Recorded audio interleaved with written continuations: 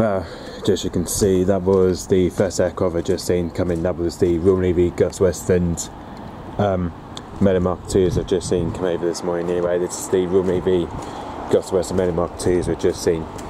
Um, came over this morning anyway. So this is the Royal Navy AgustaWestland Merlin Mark IIs I've just seen come over this morning anyway. Which as you can see the registration is ZH853 we've just seen today apparently. As you can see, the registration, as you can see, the call sign is EXCA081 we've just seen today apparently.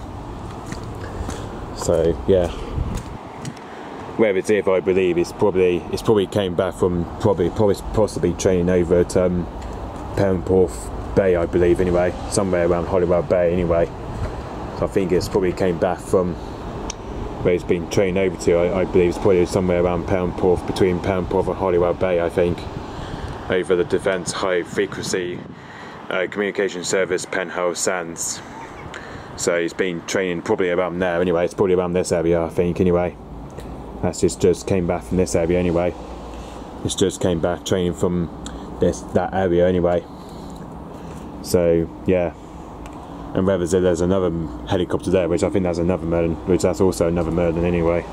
That one is just that one's technically just on training anyway. This this one is just training outside Truro anyway. So yeah. But anyway, just you can see, just from here, he flew in here just to around at least 26,000 feet today. Though, just around 26,000 feet today though. So he's flew in here to around 26,050 feet today. So yeah. Which um, hopefully he should be heading back to his base at Arnett Culdrose very soon anyway which by the looks of it, it's now, it's now on his way back to Culdrose anyway, I believe. So yeah, looks like he's on his way back to Culdrose anyway.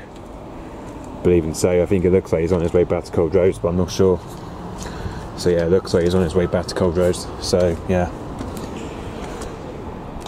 Okay, so yep. Thanks for watching. Bye bye.